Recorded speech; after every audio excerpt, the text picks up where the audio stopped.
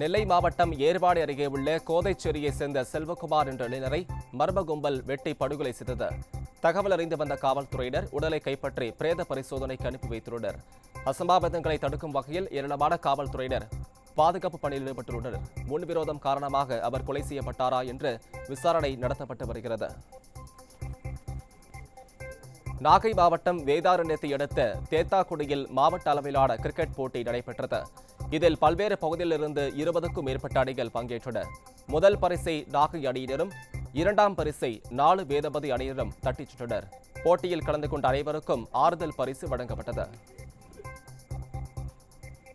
திருநெல்வேலி மாவட்டம் தென்காசியில் வாசிப்பு திறனை மேம்படுத்த வேண்டும் என்ற அடிப்படையில் வாசிப்பு இயக்கம் இரண்டாயிரத்தி இருபத்தி இரண்டு என்பதை தொடங்கியுள்ளனர்.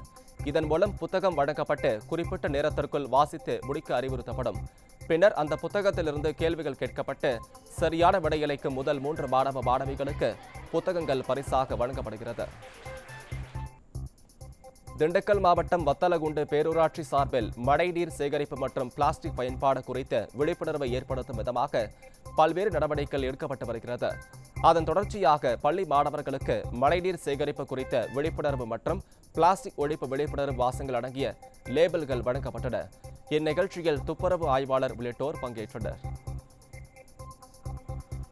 நாகை மாவட்டம் வேளாங்கண்ணியில் பழமை வாய்ந்த உத்திரிய மாதா ஆலயத்தின் ஆண்டு திருவிழா கொடியேற்றத்துடன் தொடங்கியது. முன்னதாக கொடி வீதி உலாவில் ஏராளமான கிறிஸ்தவர்கள் கலந்து கொண்டனர். ஆலயத்தின் திருவிழாவானது மராட்டிய மீனவர்களால் பத்து நாட்கள் விரதமிருந்து கொண்டாடப்படுவதாக அவர்கள் தெரிவித்தனர்.